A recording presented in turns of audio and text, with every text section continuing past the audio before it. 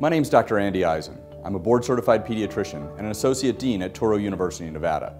I've served on Clark County's Child Death Review team for more than 10 years.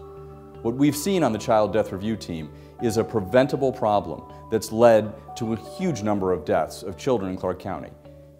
From 2006 to 2010, there were 113 deaths of infants in Clark County that were tied to unsafe sleeping practices. And we're here today to talk about ways to make your baby's sleep safer, ways that you can decrease the risk for your child.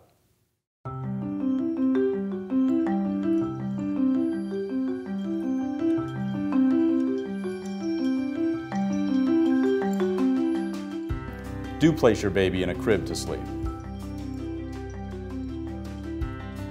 Do place your baby on his or her back to sleep.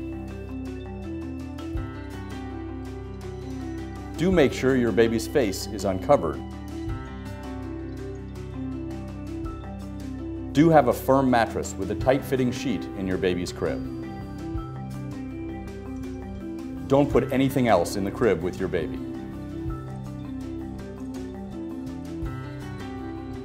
Don't overheat or overdress your baby for sleep.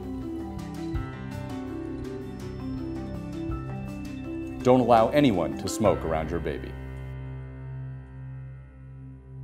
Hello, my name is Dr. Alane Olson and I work at the Clark County Coroner's Office. Because I work at the Coroner's Office, I see a lot of things that parents have tried to do right, but that have led to the deaths of their infants.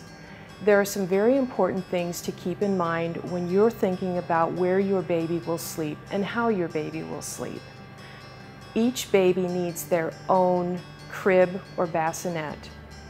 There should be a very firm mattress with a tightly fitting sheet and nothing else in the crib with the baby. Babies should not sleep on standard beds with adults or other children or pets.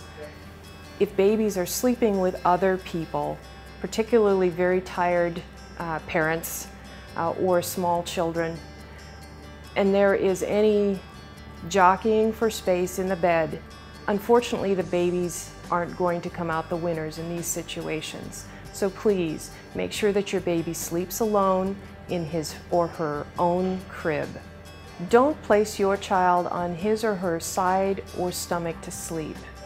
Even positioners are not a fail-safe and they can in fact result in serious injury or death. An additional danger of placing a child, an infant, in an unsafe sleeping environment is that they don't think like adults do. And they don't realize that if they just turn their heads, they might be able to get out of it.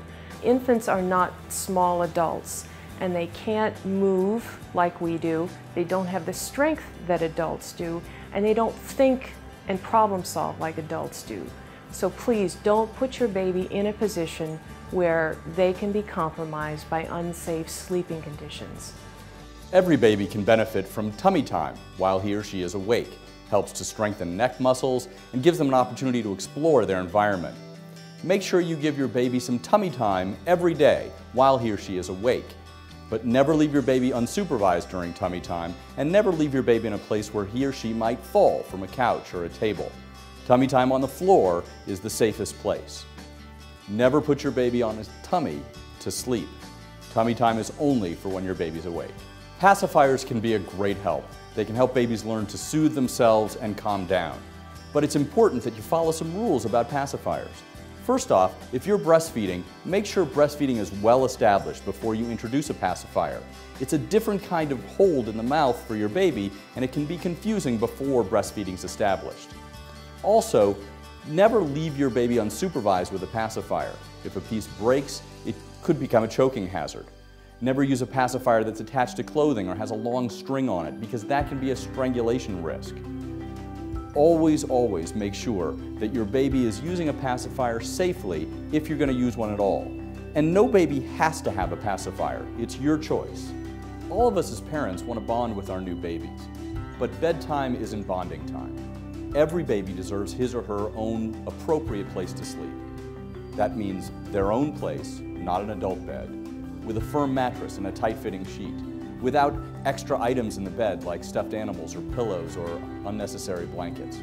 That's the safest place for your baby to be, in his or her own safe sleep space, on his back. My name is Dr. Beverly Neal, and I'm a general pediatrician. Your baby um, for breastfeeding should be taken out of the bed. You should be seated comfortably in your bed if that's how you want to do that. You should feed your baby, comfort your baby, burp your baby, and place your baby back in the crib on the baby's back. Smoking interferes with the ciliary action of the hair in the nose. It doesn't, and it's there to filter out. And smoking, there's particulate matter in the air, so it causes irritation to the nasal cavities. So that's why you don't want someone smoking around your baby.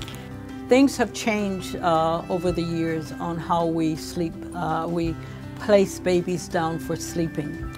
Uh, in the past, babies used to be placed on their stomachs because it was felt that if the baby, for some reason, had to uh, throw up, that the baby could lift their head and would not get into trouble. But there is evidence out that babies laying on their back don't choke. It has a tendency, if they start choking, to wake them up and make them more alert. So uh, that is uh, one of the reasons why children are placed on their back. If you're comfortable at bedtime in a light sleeping garment yourself, the baby just needs a sleep appropriate uh, sleeper on or a onesie. The baby doesn't have to be bundled. It's important to recognize that all deaths that are caused by unsafe sleeping conditions are preventable. Your baby's safety is the responsibility of everyone who cares for him or her. And it's important that you share this information with anyone who might be caring for your baby.